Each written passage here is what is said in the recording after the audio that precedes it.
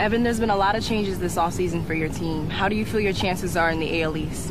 Um, I mean, I love our chances. You know, it's been. Uh, it's been...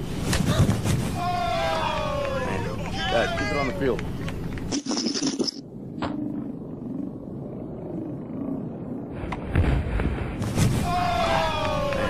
Dad, keep it on the field.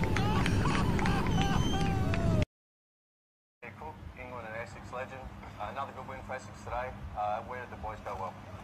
Well, it was a good toss to win, uh, and the lads piled on the runs in the first innings. Uh, you know, it's always important to get runs on the board. And then when we bowled, we were, we were consistently good. We put the pressure on from both ends and took our catches. It was a good all-round performance. Personally, another good performance for you. Nothing Oh. Yeah. Right, okay.